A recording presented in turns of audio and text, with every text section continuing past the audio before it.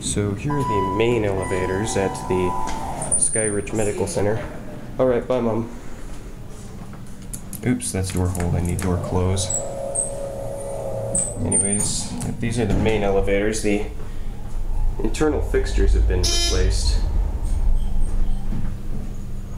Some of the elevators have an indicator right there. And one there too. Anyways, now we're gonna go up to six. It's got your usual ThyssenKrupp door operator on it.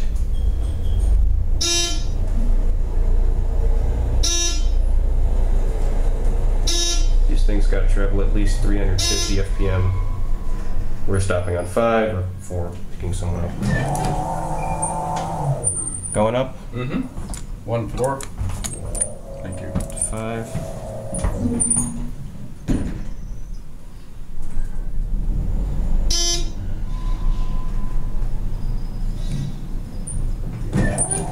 Thank you. You're welcome.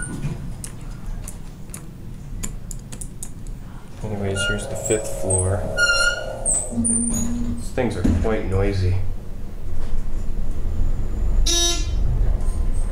Sounds like Otis Motors. Anyways, we'll get off here. Six. And we can look out the window. Yep, quite high up. There's the building I was just at before. Anyways, I don't even know what's on each floor here. But we're gonna go back down. Those are the old buttons. Hmm. Oh.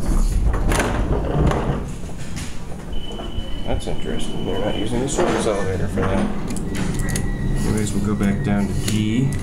Button's falling off. Yep, and uh, this elevator has one of these upper indicators.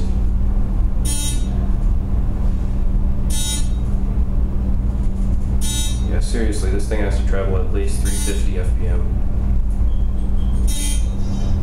And this one's got a nasty buzz on it.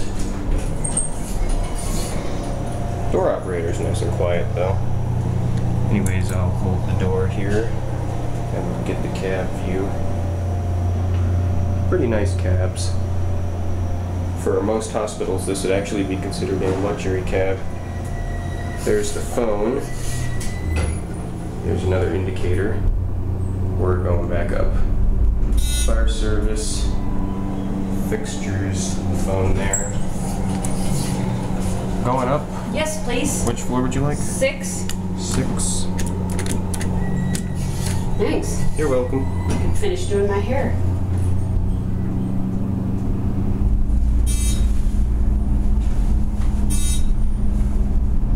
These elevators are quite fast. Yeah. Yeah, at least 350 FPM, I think. Wow, cool. Yep, our f- FPM is feet per minute. Okay. Yep. Thanks for the ride. You're welcome. Anyways, now we're just gonna head back down to one and I'm gonna end the video there. We'll see if we can watch this indicator.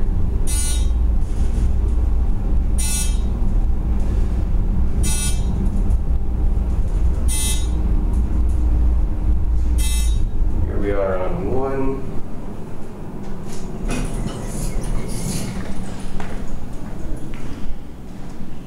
Now we're just gonna wait for the door to close. And that's it.